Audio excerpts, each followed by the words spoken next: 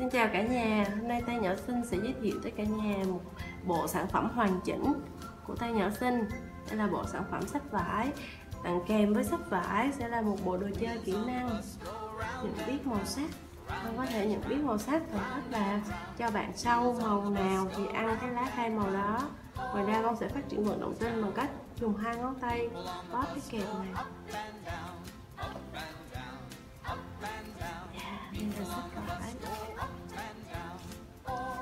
Là sách vải của bạn Suri và Ori. Tên của các bạn sẽ xé dán được để bạn học cách ghép tên.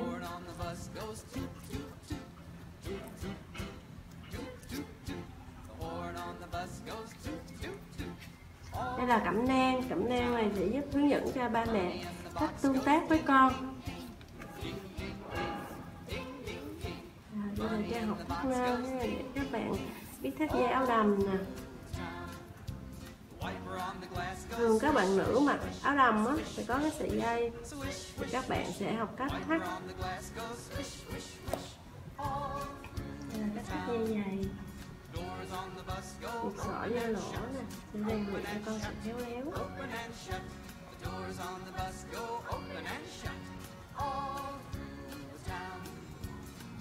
Các bạn sẽ học cách xem xem đồng hồ.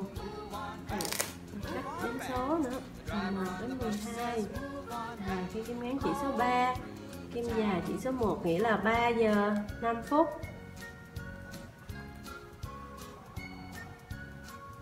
Là các bạn sẽ học cách chơi với quay kem.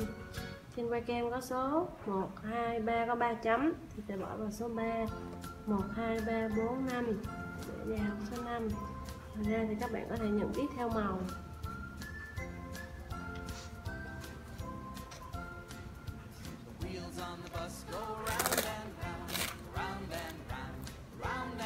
Đây là bộ chữ cái.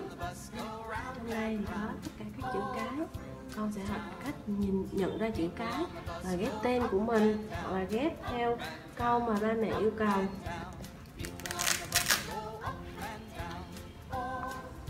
Đây là điện thoại. Con cũng sẽ học cách nhận biết số bằng cách là con dán số lên trên điện thoại.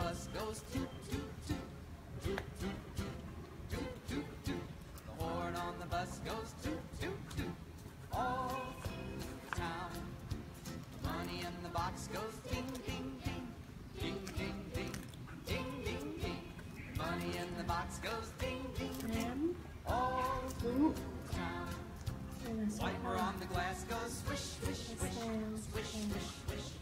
Đúng rồi. À, đây là một cái điện thoại giống của ba mẹ luôn. Đây, mình sẽ dạy cho con cách ghi nhớ số điện thoại. Ví dụ số điện thoại của mẹ là 0908 770 750 thì bé sẽ bấm lắm rất là bởi vậy cũng có thể hướng dẫn cho con một số số điện thoại khẩn cấp như là 112, 113, 114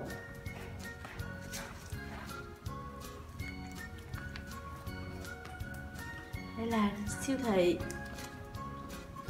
Con sẽ dùng xe đẩy siêu thị để đi chợ đi siêu thị.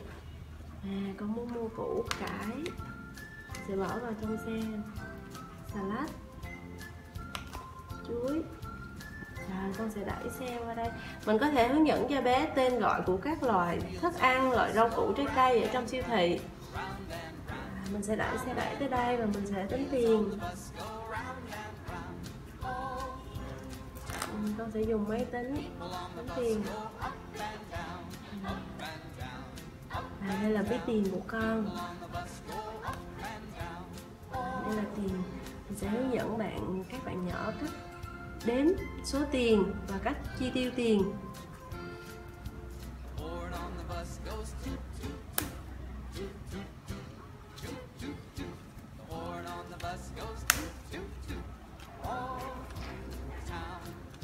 Sau khi chơi xong thì mình sẽ hướng dẫn con trả lại mọi thứ về lại như như ban đầu.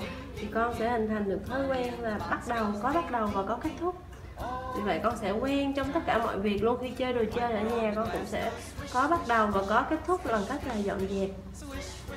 Đây là bộ sản phẩm của tay nhỏ xinh. Khi mua một quyển sách vải thì sẽ được tặng kèm một bộ đồ chơi và cẩm nang hướng dẫn sử dụng sách vải kèm theo là một túi vải để bé đem ra ngoài.